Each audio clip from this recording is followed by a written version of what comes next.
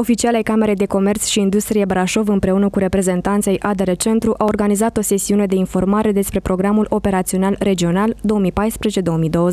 Președintele Consiliului Județean Brașov, Adrian Veștea, împreună cu europarlamentarul Zicfried Mureșan, au adus un aport semnificativ acestei întâlniri și le-au prezentat viitorilor beneficiari îndrumări legate de accesarea și monitorizarea fondurilor europene.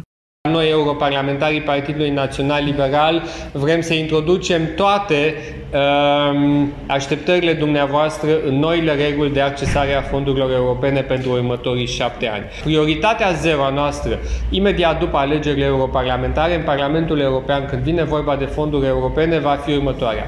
Simplificarea regulilor de accesare a fondurilor europene și anume introducerea unui set unic de norme și reguli pentru toate țările membre ale Uniunii Europene, aceleași reguli în toate țările membre ale Uniunii Europene și anume bazate pe regulile din țările care au avut cea mai bună rată de absorpție. Referitor la proiectele noastre ale județului, este știu faptul că până în 2016 Consiliul n-a depus niciun proiect pe drumul județeane. De această dată suntem campionii regiunii 7 Centru, avem 300 de milioane de lei în implementare.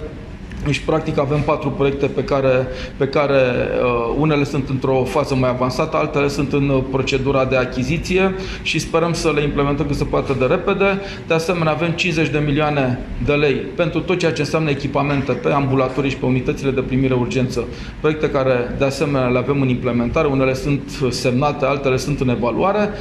O societate din județul Brașov a finalizat un proiect selectat în cadrul programului operațional regional 2014-2020 și cofinanțat de Uniunea Europeană prin Fondul European de Dezvoltare Regională. Proiectul a fost implementat în municipiul Brașov în decurs de 17 luni, iar valoarea acestuia este de peste un milion de lei.